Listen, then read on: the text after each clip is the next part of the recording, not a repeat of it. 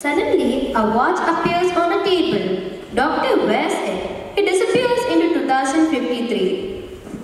Patient hurries into the hospital. Doctor, doctor, my heartbeat, it's deteriorating. Oh my god, come to the ICU. Doctor takes the patient and saves him, wondering how the patient knows about his health condition. Finally asks him, How did you know about your health condition? Doctor, there's something called closed loop. You implanted it in me years back. It allows you to monitor me from any place around the world using any device. Oh wow, that's amazing. Doctor feels so happy.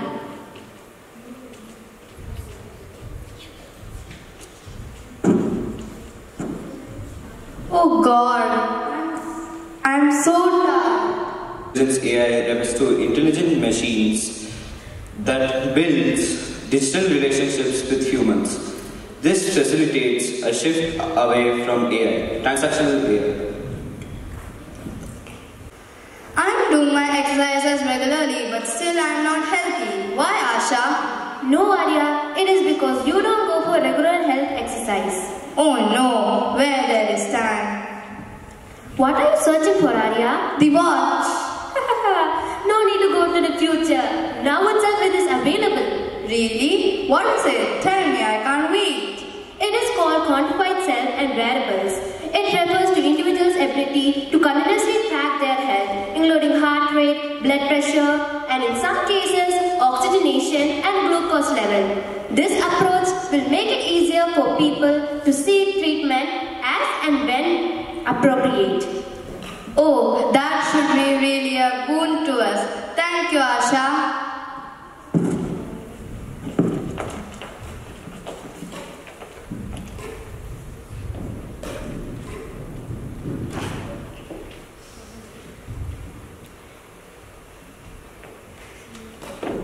Why is everyone doing like this? I'm so tense. I'm so frustrated. In his dream, something pacifies him and he returns to normal, becomes happy. Hi Sohan, you seem to be happy. May I know the reason? Yes, John, as usual.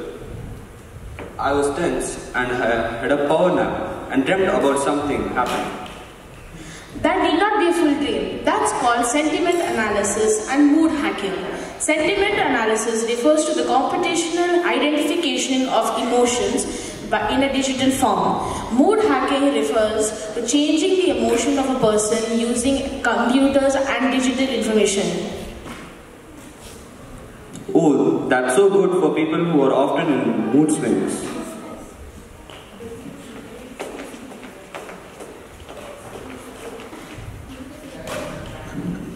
You. you.